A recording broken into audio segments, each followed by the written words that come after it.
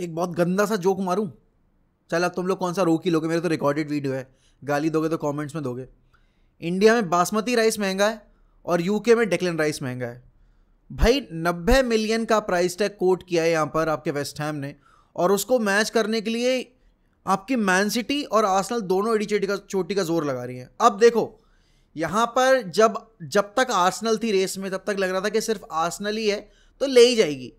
लेकिन जब man city उतरी ना रेस में, तब मैंने बोला भी था कि भाई यहाँ से सिचुएशन आर्सनल के लिए बहुत डिफ़िकल्ट हो जाएगी अगर मैन सिटी सीरियस हो गई इस रेस में। और फेब्रिजो रोमानो ने भी अपनी वीडियो में रिपोर्ट किया था कि मैन सिटी तब तक बिड लॉन्च नहीं करेगी जब तक उनको नहीं लगता कि डेक्लन राइस उनके प्रोजेक्ट में इंटरेस्टेड है या फिर एक डील स्ट्रक की जा सकती है वेस्ट हैम के साथ। और यहाँ पर कल पहली बिड अपनी सबमिट कर दी है वेस्ट हैम को। मैन सिटी ने प्राइस बताया जा रहा है नब अस्सी मिलियन प्लस दस मिलियन का एड ऑन। डेविड ऑनस्टीन की रिपोर्ट है, जो भी आप, आपकी स्क्रीन के सामने भी आ रही होगी, मैं पढ़ के सुनाता हूँ। Exclusive western have tonight receive formal offer from Manchester City to sign Declan Rice hashtag M C F C proposing deal worth eighty million pound plus ten million advance after second Arsenal bid of seventy five million pound plus fifteen million pound rejected last week hashtag A F C pursuit of main target ongoing at the rate Athletic a F C अब देखो मैंने सभी पढ़ दिए, ठीक है ना? Hashtag वैशटैग सब पढ़ दिए। यहाँ पर जो दोनों डील्स हैं, उनमें पाँच मिलियन का फासला बताया जा रहा है। जो आर्सनल ने अपनी ओवरऑल अमाउंट प्रेजेंट की, वो भी नब्बे मिलियन थी। जो आपकी मैन सिटी ने ओवरऑल अमाउंट पे की है, अभी जो प्रेजेंट किया है, वो भी नब्बे मिलियन है। लेकिन जो स्ट्रेट अपफ्रंट फ्री है ना वो आर्सनल की पाँच मिलियन पाउंड कम है मैन सिटी के कंपैरिजन में। अभी तक वेस्ट हैम की तरफ़ से इस ऑफ़र के बाद कोई अभी एक्शन आया नहीं है, जब मैं ये वीडियो रिकॉर्ड कर रहा हूँ। अब देखो, अगर आप मैन सिटी की करेंट टीम को देखोगे, आप उनकी मिडफील्ड को देखोगे, आप कहोगे डेक्लन राइस की क्या ज़रूरत है यार? रॉड्री उनके पास है। ठीक है, गुंडोगन चला गया कोवचिच वो लेकर आ गए हैं। उनके पास केविन डिब्रोइना भी है, उनके पास कैलन फिलिप्स भी है।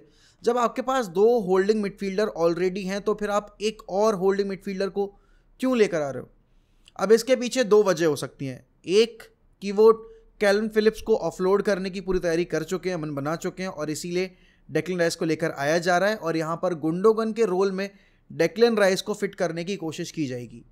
एक वजह यह है कि वो आर्सनल ने जिस तरह का सीज़न लास्ट ईयर परफॉर्म किया था और उनसे ही दो प्लेयर्स ले जाकर उन्होंने अपने आप को इतना स्ट्रॉन्ग पोजीशन में साबित कर लिया था कि मैन सिटी ये गैम्बल नहीं खेलना चाहती कि आर्सनल अपनी मिडफील्ड में डेक्लन राइस लाकर अपनी और टीम की परफॉर्मेंस अपग्रेड करे। लेकिन आर्सनल के लिए सबसे बड़ी सरदर्दी, पता है इस पूरे सागा के बाद क्या होगी? कि अभी तक वो थॉमस पार्टे को क्लब से पुश करने के लिए बिल्कुल रेडी थे और कर ही रहे थे।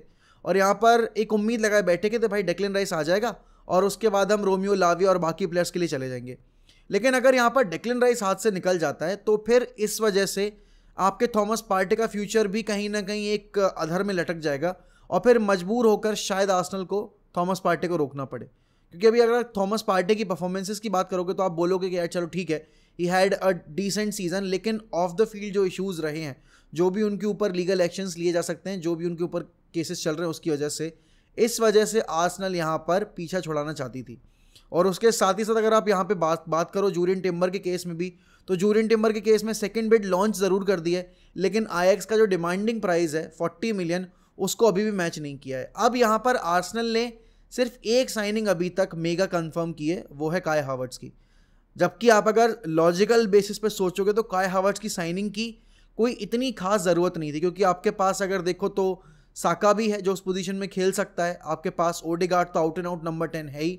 उसके अलावा आपके पास अगर आप बात करो एम एल स्मिथ भी हो गया। तो यहाँ पर काय हावर्ट्स की साइनिंग कुछ इतनी नेसेसरी साइनिंग नहीं होने वाली थी, लेकिन उनको मौका मिला, उस पर उन्होंने पाउंस किया एंड काय हावर्ड सबसे इंपॉर्टेंट चीज़ है कि क्लब ज्वाइन करना चाहते थे। यहाँ पर डेक्लन राइस के केस में अगर ग्रीन सिग्नल मिला है सिटी को तो फिर आर्सनल की राह बहुत मुश्किल होने वाली है। और फिर अगली बात, अगला सवाल यही होगा कि इसके बाद आर्सनल का क्या होगा टारगेट होल्डिंग मिडफील्ड पोजीशन के लिए। तो अभी तो रडार पर देखो कोई भी नहीं है बट कौन होगा, इसकी अभी पुष्टि कर पाना थोड़ा मुश्किल है। लेकिन मैन सिटी के केस में आप समझ सकते हो भाई मैन सिटी यहाँ पर कोई भी गैम्बल नहीं खेलना चाहती। They don't want to risk it और उनका यहाँ से जो लास्ट सीज़न उन्होंने अचीव कर रखा है, उसके बाद अगला टारगेट ये कि इसको दोबारा दोहराना है, इस सीज़न के अंदर। और यहाँ पर गुंडोगन गए हैं बार्सलोना में एंड बार्सलोना ने ऑफिशियली कल अनाउंसमेंट कर भी दी गुंडोगन की। काफ़ी अच्छी उनकी प्रेस कॉन्फ्रेंस थी। प्रेस कॉन्फ्रेंस का मतलब जो भी उन्होंने एक पब्लिक स्पीच दी, वो काफ़ी अच्छी थी। उन्होंने बोला है कि मैंने मैन सिटी में वो सब जीत लिया जो मैं जीतना चाहता था। लेकिन अब मुझे बार्सिलोना के साथ फाइनल खेलना है चैंपियंस लीग का, और एंड आई होप मेरे सामने मैन सिटी की टीम हो। अब देखो, जब आप गुंडोगन जैसा प्लेयर साइन करके लेकर आते हो तो आप अपने टीम में एक मेंटालिटी मॉन्स्टर साइन कर रहे हो और एक अल्टीमेट मैच विनर भी साइन कर रहे हो। क्योंकि हम सबने देखा है मैन सिटी के लिए जब डिसाइसिव फ़ेज़ आता था प्रीमियर लीग का या फिर कप कॉम्पिटिशन्स का Gundogan has always you know stood up और आप यहाँ पर अगर बात करो गुंडोगन के एक्सपीरियंस की तो बुंदस लीगा का एक्सपीरियंस है प्रीमियर लीग का experience and definitely he is a German international तो वो भी बहुत क्वालिटी ऐड करता है और अब बार्सिलोना की जो मिडफील्ड तैयार होके खड़ी हुई है ना, आपके पास फ्रेंकी डी होंगे आपके पास फ्रेंक कैसी हो गया, आपके पास पेड्री गावी पाब्लो तोरे तो इनफ प्लेयर्स हैं आपके पास, लेकिन अभी भी सी पोजीशन पर आपने कोई प्लेयर साइन नहीं किया है। तो अब सीडीएम कौन आएगा, उसकी अभी आशंका जताई जा रही है यहाँ पर एक पिक सर्कुलेट हो रही है कि भाई फ्रैंक कैसी बायन की जर्सी पहने बैठे हैं। तो लोग अंदाज़ा लग, अनुमान लगाने की कोशिश करें कि हो सकता है कि जोको केमिक को लाकर और यहाँ पर फ्रैंक कैसी को चिपकाने की साजिश है बार्सलोना की कि भाई बायन म्यूनिक फ्रैंक कैसी को ले जाए।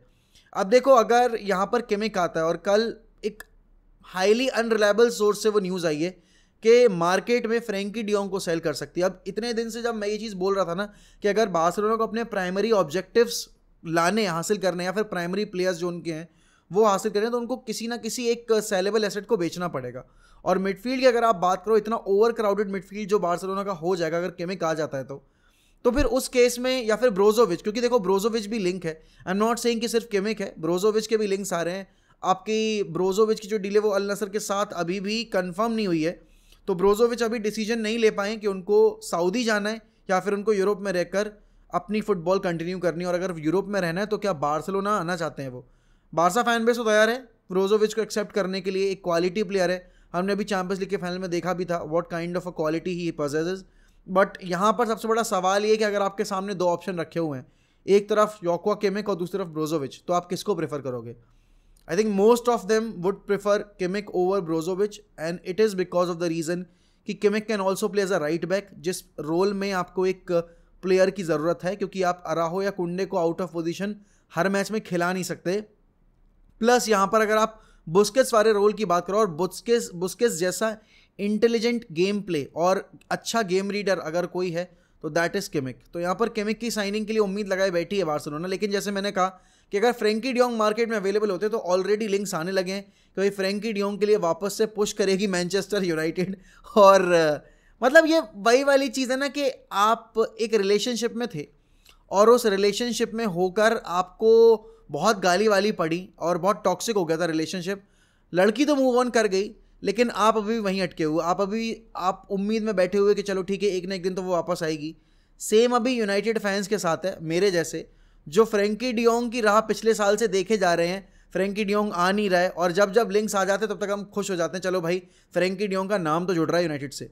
लेकिन अगर हम लॉजिकल बेसिस पर सोचें, अगर बार्सिलोना वाकई में हेफ्टी फ़ी खर्च करना चाह रही है मार्केट में, और उनके पास अभी जैसे कि आप बोल सकते हो फाइनेंशियल इम्प्लीकेशंस हैं, क्योंकि वो ज़्यादा प्लेयर्स अभी भी साइन कर नहीं सकते तो उस केस में वो चाहेंगे कि अपनी बैलेंस शीट मेंटेन करने के लिए वो एक अच्छे प्लेयर को सेल करे जहाँ से पैसा जनरेट हो। तो दैट इज़ फ्रेंकी डियोंग और अगर यूनाइटेड के पास ऑप्शन आया कि मेसन माउंट या फ्रेंकी डियोंग भाई Erik ten Hag won't think twice before sanctioning the deal of Frenkie de Jong और क्योंकि मेसन माउंट का नाम आ ही गया है तो मेसन माउंट के केस में भी आप यही बोलोगे कि देखो अब जो कल रिपोर्ट्स आई हैं ना उसके हिसाब से मेसन माउंट ने पॉचिटिनो को बोला है कि अगर डील नहीं होती है कन्फर्म यूनाइटेड के साथ तो मैं प्री सीज़न टूर पर जाने को तैयार हूँ और मैं अपना जो सीज़न है वो पूरा हंड्रेड परसेंट कमिटमेंट देख कर आपके साथ कंप्लीट करने को तैयार हूँ। लेकिन अब चेल्सी फैंस इस, इस पूरे मेसन माउंट के सागा के बाद मेसन माउंट को एक्सेप्ट करेंगे या नहीं ये सबसे बड़ा सवाल होगा। क्योंकि एक ऐसा प्लेयर जो कि आपकी अकेडमी से निकल कर आया है, अगर वो प्लेयर आपके साथ अपना लॉन्ग टर्म फ्यूचर नहीं देख रहा है और अगर आपके क्लब को डिसरिस्पेक्ट कर रहा है और आपके फ़ैन बेस वाली फीलिंग्स को भी डिसरिस्पेक्ट कर रहा है तो फिर क्या फ़ैन बेस उसके साथ खड़ा होगा? और क्या आप उस लेवल पे सपोर्ट कर पाएगा जिस लेवल पे लास्ट ईयर तक मेसन माउंट को सपोर्ट किया गया था? तो शायद इसमें से बहुत सारे लोग बोलेंगे, नहीं, अब हम मेसन माउंट को उसकी हरकतों की वजह से नहीं कर सकते उस लेवल पे सपोर्ट लेकिन एक बार जब सीज़न शुरू होगा ना और अगर मेसन माउंट तीन चार परफॉर्मेंसेज ड्रॉप कर दी चेल्सी के लिए और चेल्सी जीतने लगी मैचेस तो सारा फ़ैन बेस भूल जाएगा and they will happily accept Mason Mount back into the system लेकिन हाँ यहाँ पर यूनाइटेड फ्रेंकी डियोंग के डील के लिए तो बिल्कुल भी आप अगर बोलोगे तो वो एक्सेप्टेबल है ही नहीं क्योंकि ये चीज़ पॉसिबल हो पाना बहुत मुश्किल है। लेकिन यहाँ पर मेसन माउंट के केस में ज़रूर यूनाइटेड चाहती है कि भाई डील स्ट्रक हो जाए, जिससे कि हमें अपनी पहली साइनिंग मिल जाए, क्योंकि दो हफ्तों में आपका प्री सीज़न टूर शुरू होने वाला है और आपके पास अभी दिखाने के लिए नई साइनिंग के तौर पर कोई नहीं आया है। और क्योंकि नई साइनिंग्स की बात हो रही है तो मेसन माउंट पे कहानी रुकनी नहीं चाहिए। यहाँ पर नंबर नाइन की भी दरकार है, और भी पोजीशंस पे दरकार है प्लेयर्स की बट ऐसा कुछ समझ में नहीं आ रहा कि हो पाएगा। And that is what the harsh reality is बाकी देखो एम्बापे के ऊपर और बाकी सारे प्लेयर्स के ऊपर ऐसा कोई खासी अपडेट है नहीं। मड्रिड चाहती है एम्बापे को साइन करना। एम्बापे मड्रिड के लिए खेलना चाहते हैं। पीएसजी बेचना चाहती है। लेकिन एक जगह जहाँ कर ये सारी गाड़ी रुक जाती है ना, वो है प्राइस टैग अब मड्रिड सोच रही है कि भाई 150 से लेकर 200 मिलियन के बीच में प्राइस टैग सेट कर लो और हमें बेच दो तो तुम्हें बहुत हाईवी बेनिफिट भी हो रहा है यहाँ पर। और यहाँ पर पीएसजी करे नहीं भाई, हमें 250 मिलियन चाहिए एम्बापे के लिए। अब 250 मिलियन में सबसे बड़ी मेन वजह ये कि एम्बापे खुद 100 मिलियन डिमांड कर रहा है पीएसजी से कि हमारा जब कॉन्ट्रैक्ट हमने साइन किया था तो बोला गया था कि 2024 तक जो भी होगा, उससे पहले अगर बेचते हो तो आपको बोनस देना पड़ेगा। तो उसको देखते हुए पीएचजी चाहती है कि जो बोनस अमाउंट है ना, वो भाई मेड्रिड से ही वसूला जाए, क्योंकि अल्टीमेटली एक वर्ल्ड क्लास प्लेयर जो कि फ्यूचर बैलेंड और विनर हो सकता है, वो आपके क्लब में जाने वाला है। अभी आपने देख लिया फ्रांस के साथ वर्ल्ड कप में उसने कैसी परफॉर्मेंस ड्रॉप ड्रॉप की थी और सिर्फ़ फ्रांस के साथ ही नहीं, अगर आप पी के साथ भी परफॉर्मेंसेज की बात करो तो पिछले तीन सीज़न में ही has been the best player for the club तो यहाँ पर देखते हैं भाई, अब रियाल मेडिड किस तरीके से रिएक्ट करती है मार्केट में और वो एम्बापे को लेकर आ पाते हैं या नहीं आ पाते हैं?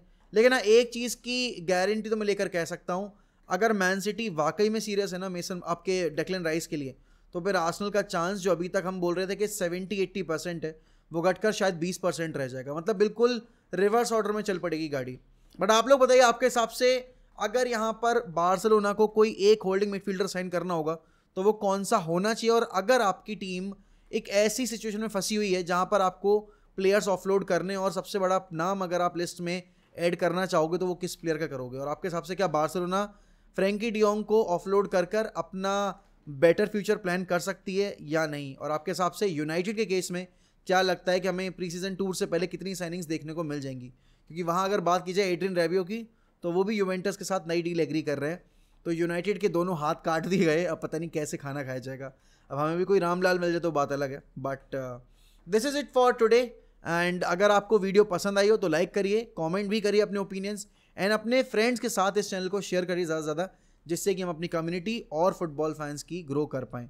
और आज रात में मैच है भाई कुवैत के साथ आपका इंडिया का।